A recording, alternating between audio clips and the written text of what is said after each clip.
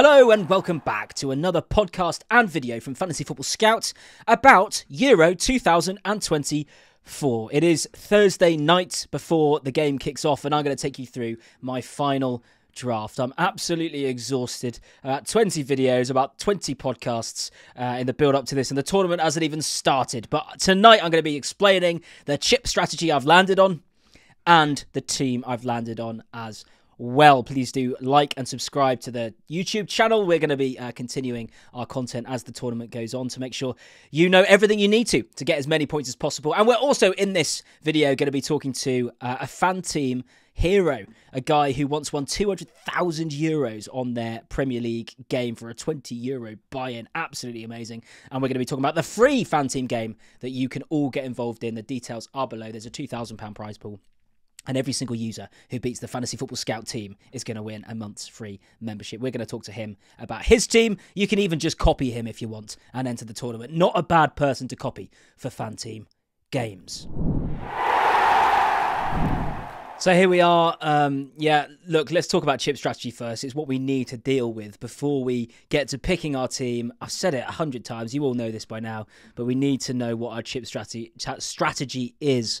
We get two chips, a wild card and a limitless. Where do you play them? It really makes a difference to your first uh, team for the uh, your initial team for the tournament. Now, look on the screen if you're watching on YouTube, you can see a little chart here that I've used in the past. It just shows that the only match days you can actually play chips a match day two, match day three, quarterfinals, semi-finals, and final. And in a previous video, I suggested that I might go for the chip strategy, which is limitless in the quarterfinals and wildcard in the semi-finals. Now, that proved to be uh, a pretty unpopular one. Actually, not many people went for that. I still think there's there's good things about that, but I have come to the conclusion that is not the best. It's not the most um, I don't know. It's not the optimal strategy. So I'm. We're not going to discuss this anymore. If you want to, if you want to know about chip strategy, watch some chip strategy videos. I did one. The FPL Wire have done a really good one. Loads of people have done. Just type Euro 2024 chip strategy. Loads of people will will come out. FPL Harry, who, who came on our video, loads of them. Right. So go and watch them. But what I have come to the conclusion that I'm going to do, and this is kind of loose, but let me tell you.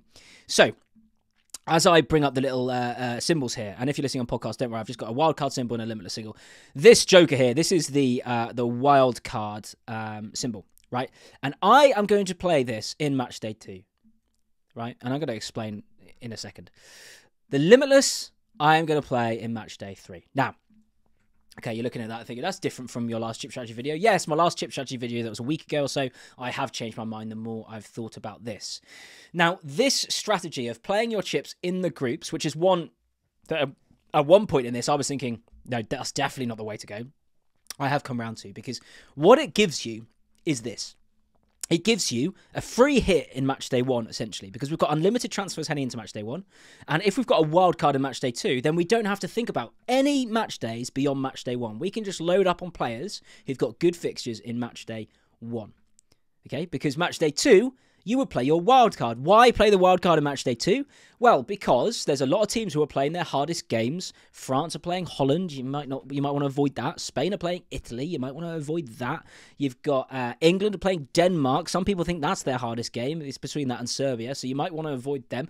There's a bunch of teams that you would have if you were just picking a team but you might want to avoid for match day two. So playing the wild card gives you the option to go for the upsides of, of, of, of teams that do have good fixtures. Like, for example, Croatia. Croatia have a good fixture in match day two, but they didn't in match day one. So suddenly you can go double, triple Croatia. Now, once again, because you're playing the limitless in match day three, this is essentially a free hit. So don't worry about the fact that Croatia, you might not want them in match day three, or any of these teams, you might not want them in match day three. Just pick again for match day two, a completely blank slate. Now, why the wild card in match day two and not the limitless? Because really in match day two, because of those big hitting teams who have got lesser good fixtures, you know, not as good fixtures, you're probably not going to need the unlimited budget. You're probably going to be able to get a really good team, focusing on the teams that have good games with just a wild card. On to match day three. Why the limitless? Well, yes, there may be rotation. Yes, there may be injuries by then. Yes, there may be teams who are already through and rest players. However, we're going to get a pretty good indication, I think, of who needs to win and therefore is going to be playing their top get the, their top players, and who doesn't need to win, and suggestions in the media, they're going to get benched, they're going to get benched, this sort of thing. So the Limitless allows you to target those teams with absolutely killer match day three fixtures, like, for example, uh, Portugal. Portugal, Georgia. You can definitely make sure that you triple up for them. Uh, another one is, uh, I think, uh, who I think England have got a pretty good game. I think Spain are playing Albania. There's a few fixtures that you think triple up, triple up, triple up, right? And with the limitless, of course, you really can triple up because there's no no budget constraints. Now, what that does again is matchday three is a free hit because, as we know, between the group stages and the knockouts, you get a completely another free hit that is forced upon everyone, right? So you actually get two free hits in this game. One is forced between the group stages and the and the and the knockouts, and one is given to you to use whenever you want. So then you enter the round of 16. You've got a, a, that that forced upon you wild card, and then you've got to pick a team to get you through the knockouts, right? Because you've got no more chips. You do get three transfers between the quarterfinals and uh, the round of 16 and the quarterfinals, and then I think it's maybe four and five, and it goes up. So you get more and more chance to, to take out players who are eliminated. Now, the reason that people are playing a wild card or keeping a wild card for the knockout, so people who don't have this chip strategy of mine of using your chips in the groups, and they're saving a wild card for the knockouts, there's two big reasons, and they are good reasons to be fair. Reason number one is you have protection in case in the round of 16 a bunch of big hitters go out France, Germany, Belgium, England, whatever, and suddenly your team's decimated and you you you know you can't even with free transfers, you can't get to a squad and your game's basically over. Okay? So that's number one, it's protection. But number two, someone like, you know, Praz, I know, is going for this strategy. Number two is it turns the round of 16 for those individuals into a free hit. Yeah, another free hit. Right? Because they get the free transfers going into the round of 16 and then they're playing the wild card after. So they can triple up on, on the teams play with, with great fixtures that we don't know what they are yet, of course. In the round of 16, they can triple up and go for those teams. Now, Lewis, FPL Reaction, who I, I do an audio podcast with about this, he made a really good point, which is people are going to be doing that anyway. People are going to be tripping up, tripling up on those teams anyway. So that that that idea that that, that it's an attacking thing is neutralized a bit because everyone's going to triple up on the big teams playing the little teams. The only way it goes wrong, my chip strategy, is if then a bunch of big teams lose to smaller teams. Now, that might happen, of course, but that's less likely to happen than the big teams go through. And if the big teams do go through, which the odds suggest they are, then then we've got away with it, and we've got the upside in the group stages, and the people with the wild card didn't really need it in the knockouts. So, to boil it down, I'm going with a uh, with a chip strategy that I think is going with the odds, not against the odds. It's saying I need big teams to get through to the latter stages, not chaos is going to happen and big teams are going to go out. And and the odds would be on my side on that, uh, or this chip strategy side. So so I'm going to go with that. Now, as I mentioned, when I said, uh, look, I'm going to stay a bit flexible. What I mean by that is Match day two. If I get through match day one, where of course we're going to learn a whole bunch of information about who starts and who's doing well and who's not doing well and who needs to win and who doesn't need to win and all this sort of thing. You get into match day two. If I look at match day two and think, do you know what? My match day one team actually, with the two free transfers, I can turn it into a pretty good match day two team. I'm not going to be losing out anywhere really, and or not going to be losing out much. If I get to that point, I won't play my wild card there. I'll still definitely play the limitless in match day three. But then I'll just save the wild card just in case there is chaos because it wasn't going to benefit me too much in match day two, but I can play it in, in the knockouts. And keeping that level of flexibility, I think, is is is crucial. You don't want to lock yourself too much into one strategy. Now, I don't actually think that's not I don't think that's a bad play because when I'm picking my match day one team, you know, when I was playing the strategy, I was thinking I'm only picking for match day one, only picking for match day one it's not too much you have to change to get to an ideal match day two team, I don't think. Now, of course, if you go triple Italy in match day one, which a lot of people will be who are on this chip strategy, there is then the problem that they're playing Spain in match day two, so that's not ideal. But with two free transfers, you can get two of them out at least and change to maybe Croatia, Croatia players or something. And then you're not too far off what people playing from scratch are going to do. So maybe saving the wild card. But keeping an area, uh, uh, an era, uh, not an air, era, air. Oh gosh, I'm exhausted. I've been thinking about this too much. Gosh. Keeping a degree, that's it, of flexibility, right? Keeping a degree of flexibility. So that's my chip strategy. Let's take a quick break and we're going to talk to, before, I'm going to tell you my team, right? You are going to see my final team reveal, but we're just going to take a quick break and talk to Josh Wooldridge, I think, at Check Check Josh FF. He was a guy who won fan from FanTeam two hundred thousand euros in the Premier League game. Um, uh, a couple of years ago. Absolutely amazing, right? He's a top, top FanTeam player. And we're going to see his team for the Euros in this Beat the Pundits League that is this free league. Uh, I'll explain about it all in, in, in the next thing. So let's take a break and we'll we'll uh, we'll, we'll hear, for, hear about FanTeam. Yes, hello everyone. So here I am with Josh at Check Josh FF as we're going to talk about the FanTeam competition that you can get involved in for absolutely free. £2,000 prize pool. Just need a FanTeam account. The links and everything are in the description below. But as you can see, if you're watching on YouTube, there is the graphic. The top 160 people are paid. First place is going to get 500 quid. Not bad for a free competition, right? And there's the added, added incentive that if you beat the Fantasy Football Scout team, you every single user who does that is going to get a free month's premium membership. So not bad at all. I'm here, as I said, with Josh.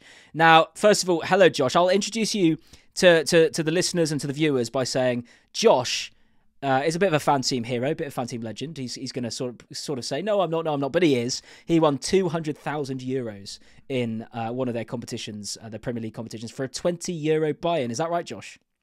Exactly. Yeah, yeah. It feels, it still feels surreal right now absolutely insane. Obviously, that was a, a 20 euro buy-in, and there are some buy-in options for, for the Euros games this summer as well, so do check them out. But this one we're talking about is uh, a completely free one. I, you're going to be in this free Beat the Pundits League. You're one of the pundits we're trying to beat, right, Josh? Definitely, yeah. And um, I, hopefully you'll see in a minute. I'm I'm giving you all a chance as well to do that. So yeah.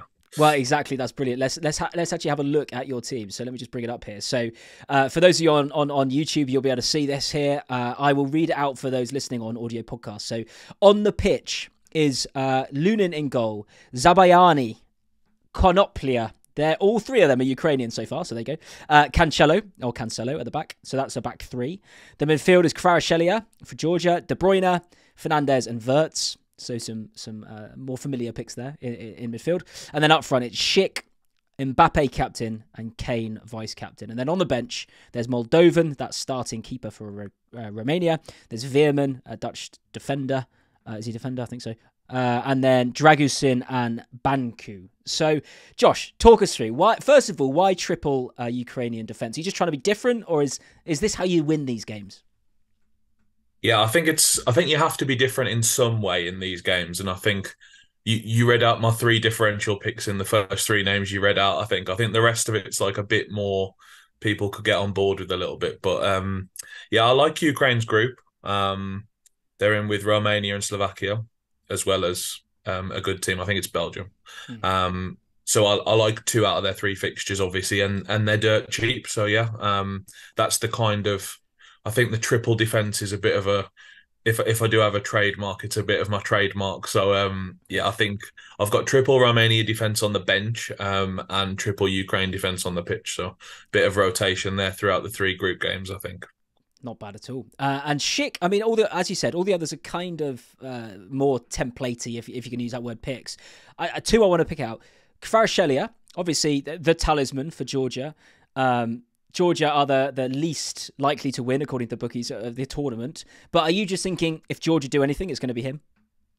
Exactly. Yeah, I was the other pick in that spot because he's a six million midfielder. The other pick in that spot was Shaqiri, but I'm just not sure on his minutes. I, I do like Shaqiri in these games, but mm.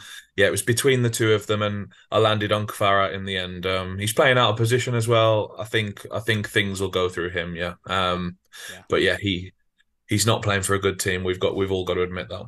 The Georgian Messi, as they call him, um, and then the other one, the other obviously slightly different one is is is Schick up front. Now I haven't seen him picked by many. Obviously, he had a great tournament in Euro 2020, scoring almost from the halfway line at one point, didn't he, or something? Um, why Schick? Why no one else? Was it just his price? Yeah, I like his price. He was he's a bit of I've been saying to my mates he's a bit of like my secret weapon because I'm as you say I don't think anyone else is going to go for him or I think he'll be very lowly owned. Um, the others are sort of like in that position. Uh, I, I like Højlund. Um, maybe I'm the only one only one with that as well. But Denmark are a good team, so I do I do think he'll have more success on the international front than he has perhaps in the Premier League this year. Um, and yeah, and the other one who I need more money for is Ronaldo. I think he's become popular in the last week, but I think he's brilliant. I think he's absolutely brilliant. So, yeah, there's breaking news for you guys. Ronaldo is brilliant. it only took 850 career goals to get there, but he's brilliant. Um, no, I think his two goals against Ireland the other day, one with his left foot at 39 years old, against still a good international team, scoring brace. Scored 10 in qualifying as well, second top scorer. He is a phenomenon. And yeah, I, I it's a problem for me because I didn't have him on my team, and I kind of thought, oh, he's you know he, he he was a doubt for the first game, and he's 39 now, and then he scored those two, and I'm thinking I can't get into that last day and not have him. I'm just gonna, I just can't do it. So now I'm trying to shoehorn him in, and it's ripped up all my team and months of planning. So, so yeah, I think quite a few people are in that position anyway. Look, um, Josh, thank you very very much. Um, people can follow Josh, uh, and he'll be talking about Fantasy and, and Euro 2024 Fantasy, I'm sure, on Twitter and X, or whatever you want to call it, at Check Josh FF. Please do follow him. He's a great FanTeam mind. And uh, yeah, here's his team. So if you want to copy a previous winner, uh, then just copy this team and then uh, keep up to date with Josh. Why not? But thank you very much. You, all the information uh, uh and, and more is in links uh, below. Again, completely free, 2K prize pool. Why not give it a go? Uh, as as always with these things, 18 plus, gamble aware, please gamble responsibly. Even the free game, we have to say that. But of course, on this website, there are paid versions of the game as well. Up to, I think, £175,000 a euro guaranteed prize pool. So uh, why don't you give that a go? Thanks very much, Josh, and we'll get back to the other video. Okay, so here it is. My final team, barring injury news and barring a last minute just absolute like panic that I don't have Ronaldo, as as as as, as you'll see. Um, this is going to be my team, right? And it is focusing largely on match day one, with uh, something in the back of my mind saying, "Let's make sure it's not too bad if if I don't want to play my wild card in match day two. But let me read it for podcast listeners. So on the pitch is Verbruggen in goal, Wout Faes, Jonathan Tah, Mittelstadt, and Dimarco. So double Germany defence, one Italy, one Belgium. In midfield, Trossard, Wirtz, captain for that first game, Szoboszlai and Jorginho. Up front, Lukaku and Harry Kane. Okay, on the bench, Lunin, the keeper, Bruno Fernandes, Cancelo, and Mbappe. Now, a couple of things to comment, and these are the as I comment, I'm just telling you the last things I'm thinking about, really. A lot of these are locks now, but the last things I'm considering. So, First of all, the thing I'm considering is match day one.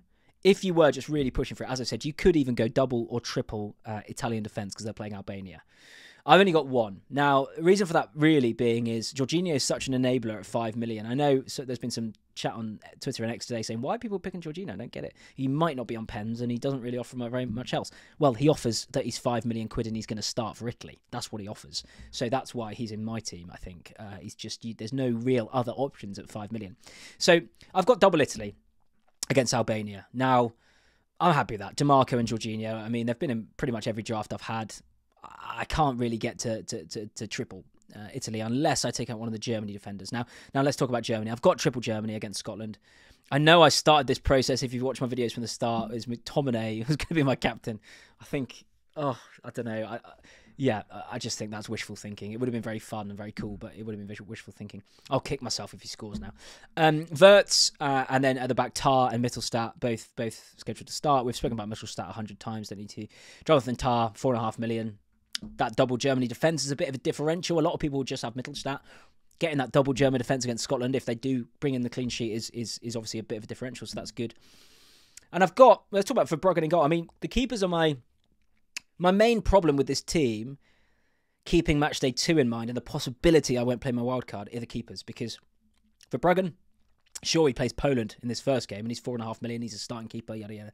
But in their second game, they've got France, right? So not ideal. So do, do I use one of my two transfers to get rid of him uh, before match day two, or is that going to be something that tips me over to playing the wild card? I don't know. So maybe I need to look at that. And the other one is Lunin against uh, Romania in match day one. Again, a really good fixture for them. But match day two, I think it's Slovakia, which is still it's not awful. So maybe I just trust Lunin and, and, and keep those two keepers for match day two if I do decide not to play the wild card. But remember, I am leaning towards playing the wild card. It's just I want to keep in mind that I might change that based on circumstances and things like that. Now, triple triple Belgium. Look, they've got Slovakia. Um, I just I just back them. Trossard is a is a really nice differential. He's, I think he's only nine percent owned. A lot of people have got De Bruyne in their teams, but well, a lot of a lot of people on the on, you know on the percentage you know have have De Bruyne picks, and I think that's probably uh, not really the people who are, are, are playing in the fantasy football community on Twitter and X and YouTube and stuff because not many big managers have De Bruyne. I haven't seen. I think Gianni has maybe, but uh, not many because he's so expensive. So Trossard is a good alternative. Lukaku up front again, top scoring, qualifying, 14 goals. Scored a brace the other day for Belgium as well. And then Wout Faes, 4 million starting defender. So can't really say no to that, right? Harry Kane is my only England player. I just couldn't bring myself not to have any. He could change to Ronaldo, to be fair, before the deadline. I can see myself bringing in Ronaldo because, as I said on another stream, I just can't see myself on the last day. I'll be kicking myself not having Ronaldo and it's starting. I just I've always loved Ronaldo and and if I don't have him, I'm to be kicking myself. But you're going to kick yourself whoever you leave out because you've got to leave out one of Mbappe, Lukaku, Kane, or Ronaldo. It's going to be very hard to, um, uh, you know, you can't get them all in, right? Not very hard. It's impossible, right? So, so there you go. Szoboszlai, he's been in every draft I've had. He's he's just fits into that seven million slot in midfield. I didn't know who else to go for. They've got Switzerland. I could see him getting getting some returns, so I'm leaving him in. Even though even if I'm just going for one match day, I'm leaving him in. And then Fernandes, Cancelo speak for themselves. Play on the last day. Captaincy option on the last day. Bruno Fernandes. And then I've got Mbappe. Now, the issue here about the front three, right? So Kane, Lukaku, Mbappe. Let's talk about the front three because a lot of people have got that front three. A lot of people have removed one of them and, and got Ronaldo in. So it's three of four, isn't it? Now, the issue with Mbappe and Lukaku is they both play on the same day, which is the 17th. So you can't captain them both. So if you are going to get rid of one of the four to make it three, maybe you should get rid of one of Lukaku or Mbappe because you don't want to waste the fact that you can captain them, right? Because if you had, if I got rid of Mbappe and put Ronaldo in, then I've got Lukaku as a captaincy option one day, Kane as a captaincy option on a completely another day, and Ronaldo as a completely different option on another day. Whereas if I've got Mbappe and Lukaku, I've only got Mbappe and Lukaku are, are, one day, and then I've got Kane, and then I'll have to do Bruno Fernandes, I guess. Uh, if you don't have Ronaldo, you're gonna captain Bruno Fernandes on that day. I don't know who else you, unless you make, you know, really going for it in terms of uh, a differential punt. So, look, this is my team at the moment. If the game started now, I'd be pretty happy, but I would be kicking myself when we get to that Portugal game about Ronaldo. But yeah, what do you think? Leave a comment below. Uh, do uh, you know like and subscribe to the stream because you, are going to be following this team throughout the tournament. I think there might be a couple of changes that happen, so do not blame me. Like if you're copying me, which by the way I wouldn't do if I was you. But if you're copying me and I change it before deadline and don't tell you, that's on you, not me, right? You shouldn't be copying people. Make your own team. Uh, so do not have a go at me if I do change it, because I probably will. Knowing me, I do tinker a bit. But at the moment, this is a team that I'm, if it started now, I'd be happy with. It's got a flexibility to get to match day two uh, without playing a wild card, but also it's good and, and presses on, on match day one. Just to say what I'd do if if if I you know if I didn't play a wild card and I wanted to turn this into a match day two team with my two free transfers, it would probably be something like Mbappe out, Ronaldo in, because Mbappe's got Holland, but also that gets me 1.5 million back, and then probably either one of the Italy assets out, probably Jorginho out, and that'll give me six and a half million for a midfielder in matchday two, potentially Soucek at Czech Republic or Czechia, um, who's got a good fixture in matchday two, or a Croatian midfielder or something like that. And and, and at that point, you're doing all right because Scotland's second game's still good. Belgium's second game's still good. Kane's second game's still good. The keepers are a bit of a problem, but I'll have to trust Lunin. Portugal's second game's still good you know, you're laughing. He's not going to be too different from people picking a whole new team. So that's what I'm going to need to keep an eye on. But at the moment, here is my final team. I hope you enjoy it. Please do leave a comment. Please give me any tips if you've got them. If you know how to fit four strikers on in this game, then please let me know because that would be great. Uh, but other than that, good luck. Deadline tonight. Uh, I think I'm recording this on Thursday. You're seeing it Friday morning. For the so for you watching, the deadline is tonight at 8 p.m. So make sure you've set your team. Make sure you've decided your chip strategy. My one tip would be, in fact, a few tips before I go because this is the last video I'm doing before the deadline. A few tips. First of all, pick a uh, tactic on what you're going to do and just go for it. These games are sprints. Uh, it's not like FPL where you can be careful and slowly get get up the rankings. No, just go for it, whatever you're going to do, right? And that's the crit of me going, oh, match day one, match day two. Should I just go for it and go triple Italy at the back and triple Germany and, and you know and try and get one of the clean sheets? I don't know. Maybe that that'll be probably something that I do last minute and annoy you all by by not telling you. But so that's one thing. Second thing is check your bench order. Check check the players playing last are on your bench and the players playing first are on the pitch check that you've captained someone and you've got a captain every single day of of the match day. So there should be five different options. It should be the 14th the 15th the 16th the 17th and 18th even if you've just got one person on some of those days make sure you get every opportunity to play the captaincy chip five times. Um, and then other than that good luck. And uh, i'll see you after match day one probably or maybe midway through match day one i'll see you. But good luck. See you later